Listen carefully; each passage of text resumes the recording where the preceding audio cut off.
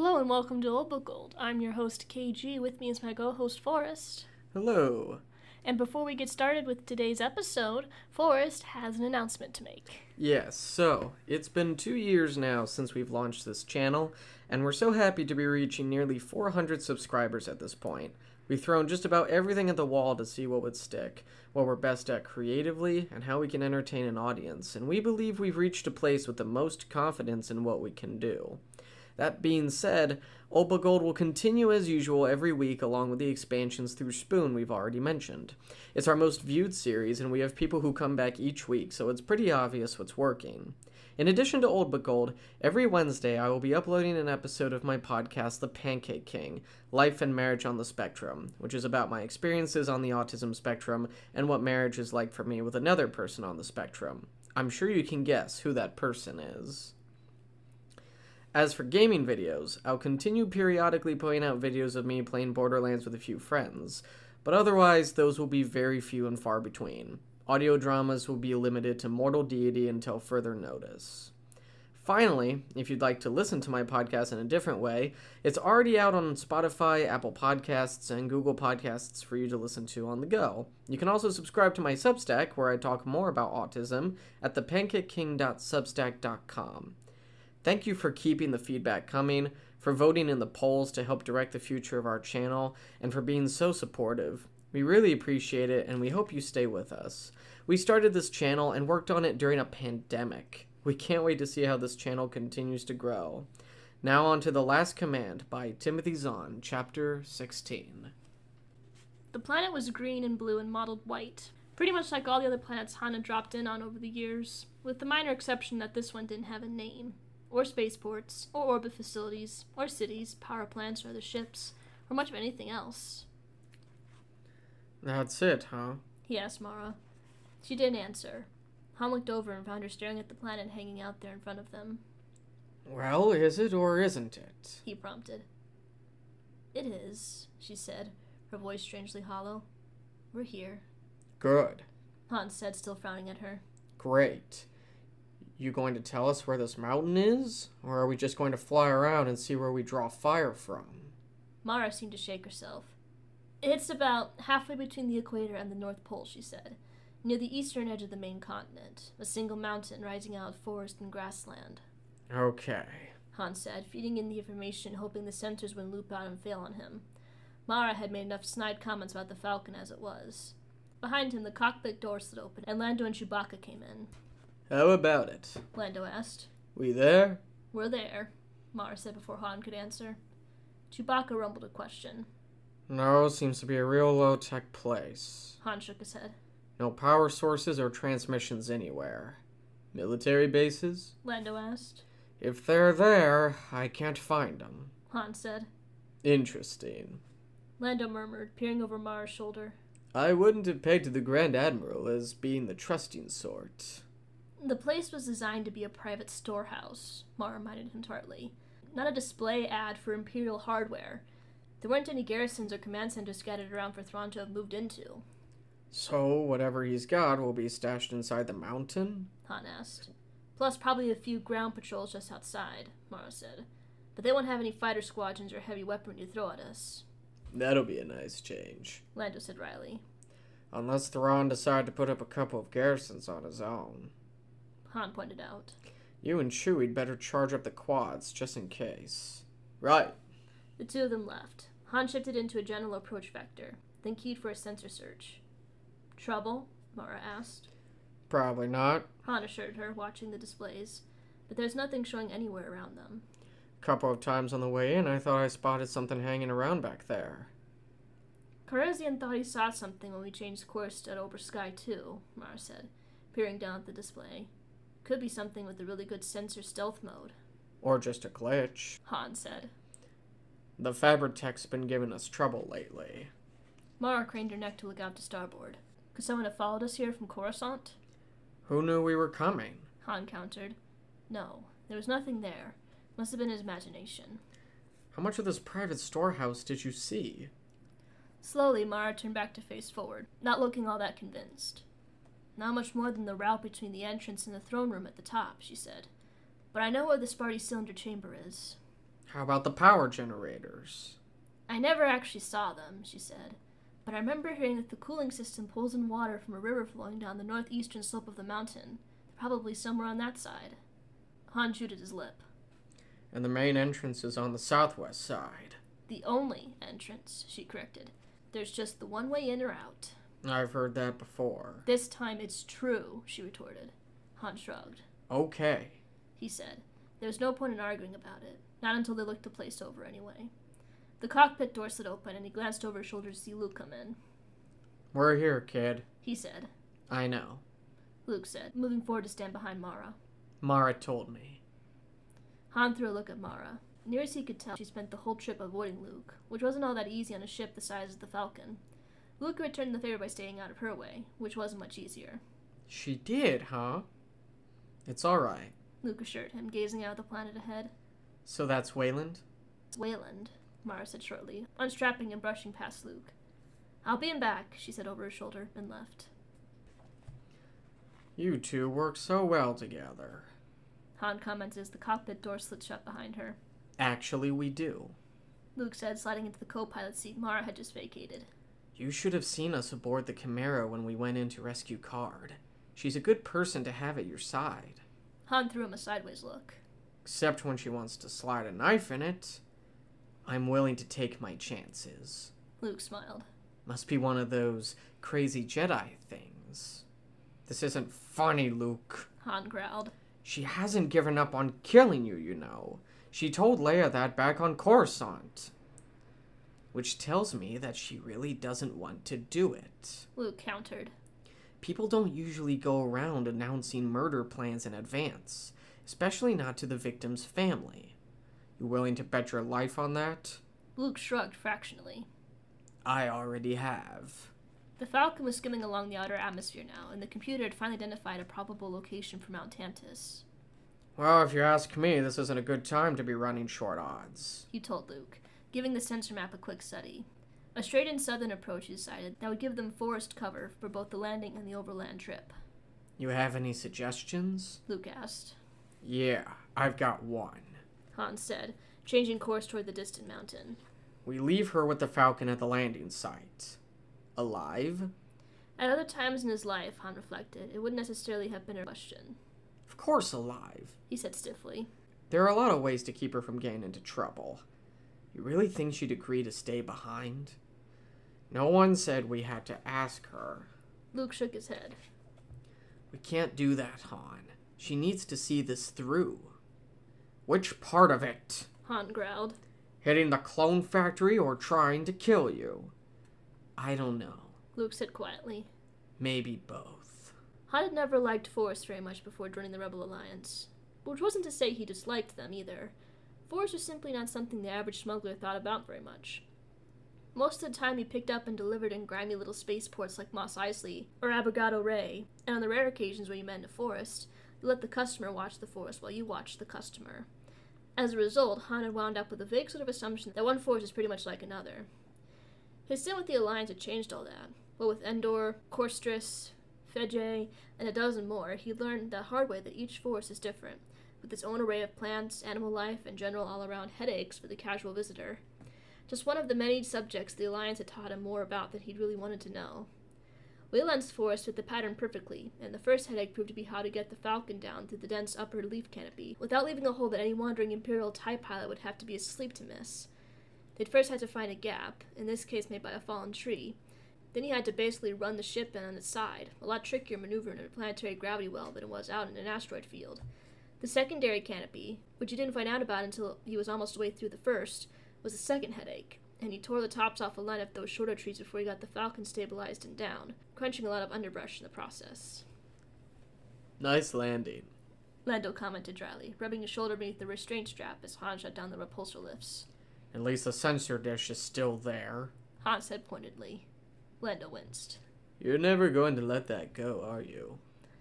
Han shrugged, keying in the life form algorithms, trying to find out what was out there. You said you wouldn't get a scratch on her. He reminded the other. Fine. Lando grumped. Next time, I'll destroy the energy field generator and you can fly her down the Death Star's throat.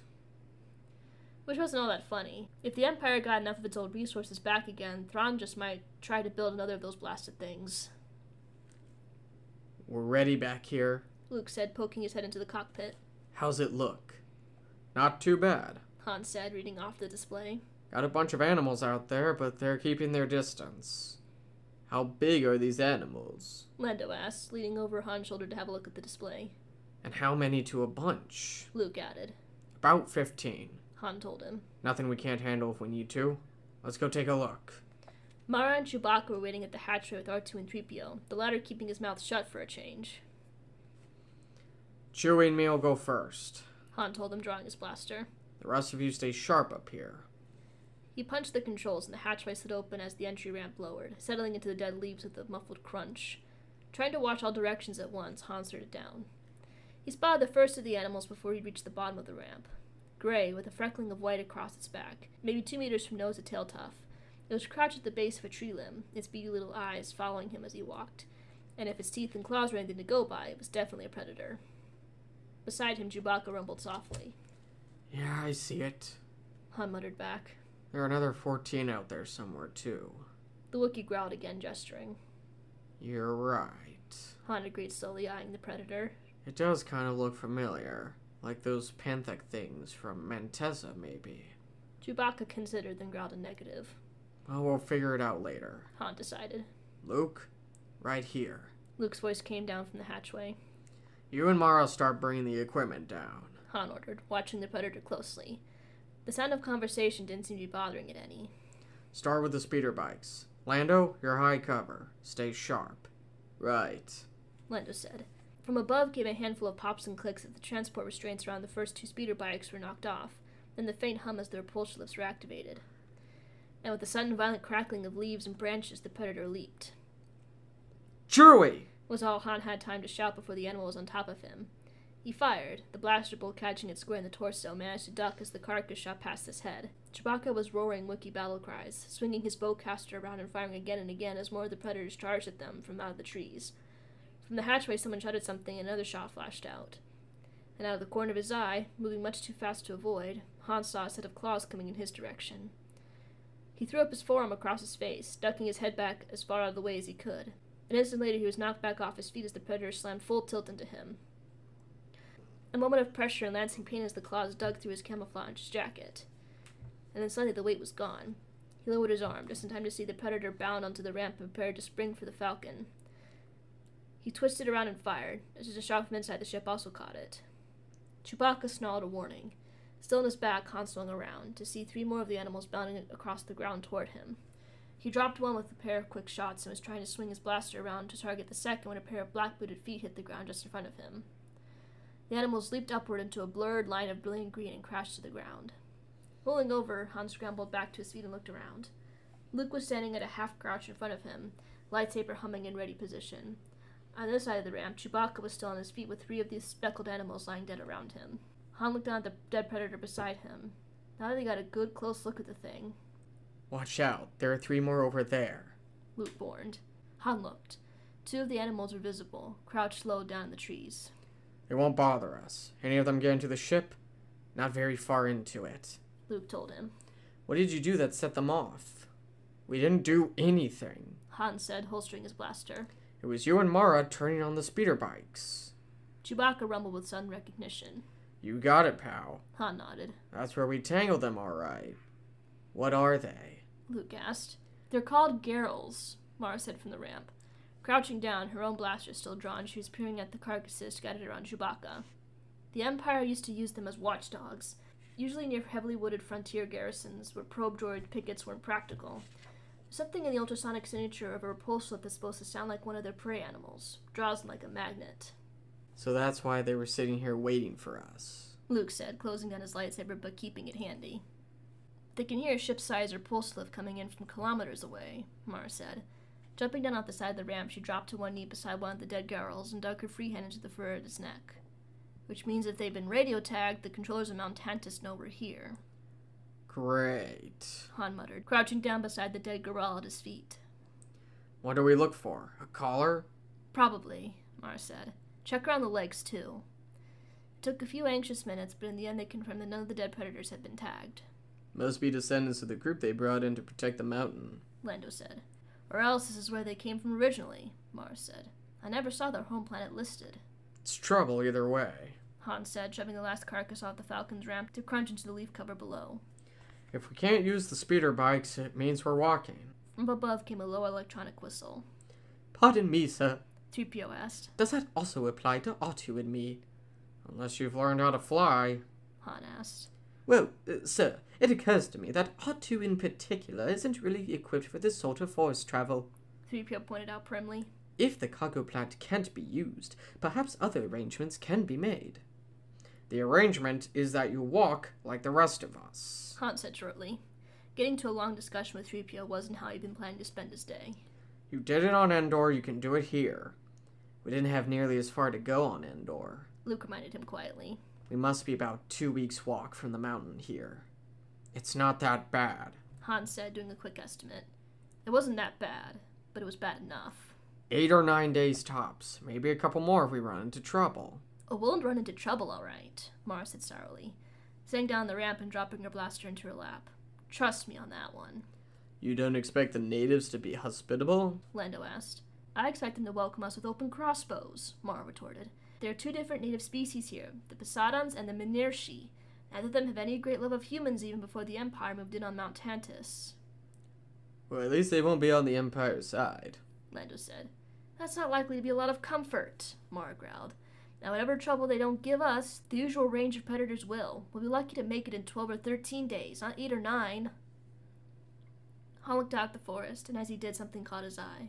Something more than a little disturbing. So we'll figure on 12. He said. Sully was critical that they made tracks away from here. Let's get to it. Lando, Mara, you get the equipment packs sorted out for carrying. Chewie, go pull all the ration boxes out of the survival packs. That ought to do us for extra food. Luke, you and the droids head that way. He pointed. And see what you can find in the way of a path. Maybe a dry creek bed. We ought to be close enough to the mountain to have some of those around. Certainly, sir. 3PO said brightly, starting down the ramp. Come, R2. There was a muttering of acknowledgement, and the others headed into the ship. Han started toward the ramp, stopped as Luke put a hand on his arm. What's wrong? He asked quietly. Han jerked his head back toward the forest. Those girls that were watching us, they're gone. Luke looked back. Did they all leave together? I don't know. I didn't see them go. Luke fingered his lightsaber. You think it's an Imperial patrol? Or else a flock of those prey animals Mara mentioned. You getting anything? Luke took a deep breath, held it a moment, then slowly let it out. I don't sense anyone else nearby, He said. but they could just be out of range. You think we should abort the mission? Han shook his head.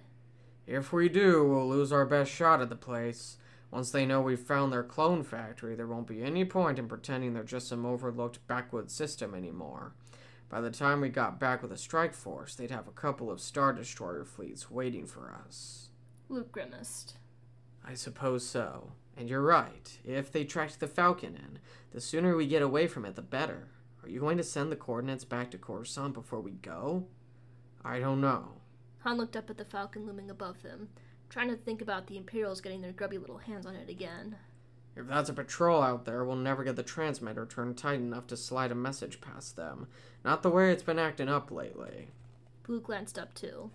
Sounds risky. He said, If we get into trouble, they won't have any idea where to send a follow up strike force. Yeah, well, if we transmit through an Imperial patrol, I can guarantee that's trouble. Han growled. I'm open to suggestions. How about if I stay behind for a few hours? Luke suggested. If no patrols have shown up by then, it should be safe to transmit. Forget it. Han shook his head. You'd have to travel alone, and there's a better than even chance you wouldn't even be able to find us. I'm willing to risk it. I'm not. Han said bluntly. And besides, every time you go off alone, you wind up getting me in trouble. Luke smiled ruefully. It does seem that way sometimes. Bet on it. Han told him. Come on, we're wasting time. Get out there and find us a path. All right. Luke said with a sigh, but he didn't sound all that upset. Maybe he'd known all along that it wasn't a very smart idea. Come on, 3PO R2. Let's go. The first arrow was the hardest. The vague, path like trail R2 had found deaded into a mass of thorn bushes after less than a hundred meters, forced them to push a path of their own through the dense undergrowth. In the process, they disturbed more than plant life, wound up spending several tense minutes shooting at the nest of six legged, half meter long creatures that swarmed out biting and clawing at them. Fortunately, the claws and teeth were designed for much smaller game, and aside from a nicely matched set of tooth dents in 3PO's left leg, no one suffered any damage before they could be driven away. 3PO moaned more about that than either the incident or the damage really deserved, the noise possibly attracting the brown scaled animal that attacked a few minutes later. Han's quick blaster shot failed to stop the animal, and Luke had to use his lightsaber to cut off 3PO's arm. The droid was even more inclined to moan after that, and Han was threatening to shut him down and leave him for the scavengers when they unexpectedly hit one of the dry creek beds they'd been hoping to find. With the easier terrain and with no further animal attacks to slow them down, they made much better speed, and by the time the leaf canopy overhead began to darken with nightfall, they made nearly 10 kilometers. Brings back such wonderful memories, doesn't it? Mara commented sarcastically as she got out her backpack and dropped it beside one of the small bushes lining the creek bed. Just like back on Myrkr. Luke agreed, using his lightsaber to cut away another of the thorn bushes they'd become all too familiar with in the past few hours. You know, I never did find out what happened after we left. About what you expect, Mara told him. We cleared out about two steps ahead of Thrawn's AT-ATs, and then nearly got caught anyway when Karrde insisted on hanging around to watch. Is that why you're helping us? He asked her. Because Thrawn's put a death mark on Karrde. Let's get one thing clear right now, Skywalker, she growled. I work for Karrde, and Karrde has already said that we're staying neutral in this war of yours. The only reason I'm here is because I know a little bit about the Clone Wars era, and don't want to see a bunch of cold faced duplicates trying to overrun the galaxy again. The only reason you're here is that I can't shut the place down by myself. I understand, Luke said, cutting a second thorn bush and closing on his lightsaber. Reaching out with the force, he lifted the two bushes off the ground and lowered them into the creek bed. Well, it won't stop anything that's really determined to get at us. He decided, studying the makeshift barrier. But it should at least slow them down. For whatever that's worth, Mara said, pulling out a ration bar and stripping off the wrapping. Let's just hope this isn't one of those lucky places where all the really big predators come out at night.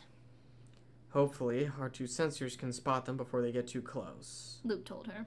Igniting his lightsaber again, he cut two more thorn bushes for good measure and he was preparing to shut it down when he caught the subtle change in Mara's sense. He turned to find her staring at his lightsaber, ration bar forgotten in her hand, a strangely haunted expression on her face. Mara? He asked. You alright? Her gaze shifted almost guiltily away from him. Sure, she muttered. I'm fine. Throwing him a quick glare, she bit viciously into the ration bar. Okay. Closing down the lightsaber, Luke used the force to move the newly cut thorn bushes into place on top of the others. Still not much of a barrier, he decided. Maybe if he stretched a few of those vines between the trees. Skywalker? He turned. Yes? Mara was looking up at him. I have to ask, she said quietly. You're the only one who knows. How did the Emperor die? For a moment, Luke studied her face.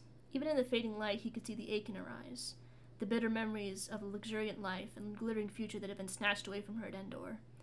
But alongside the ache was an equally strong determination. However badly this might hurt, she truly did want to hear it. The Emperor was trying to turn me to the dark side, he told her, long buried memories of his own surging painfully back again. It had nearly been him, not the Emperor, who died that day. He almost succeeded. I'd taken one swing at him and wound up fighting with Vader instead. I guess he thought that if I killed Vader in anger, I'd be open to him through the dark side. And so instead you ganged up on him, she accused, her eyes flashing with sudden anger. You turned on him, both of you. Wait a minute, Luke protested. I didn't attack him. Not after that first swing. What are you talking about? she demanded. I saw you do it. Both of you moved in against him with your lightsabers. I saw you do it. Luke stared at her, and suddenly he understood. Mara Jade, the Emperor's hand, who could hear his voice from anywhere in the galaxy, She'd been in contact with her master at the moment of his death and had seen it all, except that somehow she'd gotten it wrong. I didn't move against him, Mara, he told her. He was about to kill me when Vader picked him up and threw him down an open shaft. I couldn't have done anything even if I'd wanted to. I was still half paralyzed from the lightning bolts he'd hit me with. What do you mean if you wanted to? Mara said scornfully. That was the whole reason you went aboard the Death Star in the first place, wasn't it? Luke shook his head. No. I went there to try and turn Vader away from the dark side. Mara turned away, and Luke could sense the turmoil within her. Why should I believe you? she demanded at last. Why should I lie? He countered. It doesn't change the fact that if I hadn't been there, Vader wouldn't have turned on him. In that sense, I'm probably still responsible for his death. That's right, you are, Mara said harshly, but there was a moment of hesitation before she said it. And I won't forget it. Luke nodded silently and waited for her to say more, but she didn't, and after a minute he turned back to the thorn bushes.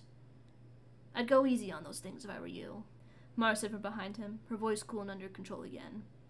You don't want to trap us in an area this size if something big comes over the bushes. Good point, Luke said, understanding both the words and the meaning beneath them. There's a job to do, and until the job was finished, she still needed Luke alive. At which point, she would have to face the destiny that had been prepared for her, or would have to choose a new one.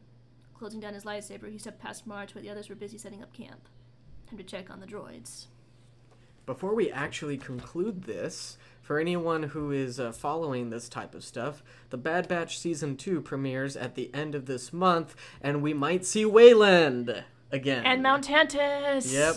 Uh, that stuff was actually shown to us at the end of Bad Batch Season 1, and there were confirmations that that is, in fact, Wayland. So we're really excited for that. It just feels like perfect timing to be reading this. We'll see you next time. The Han said. Han said. the Han.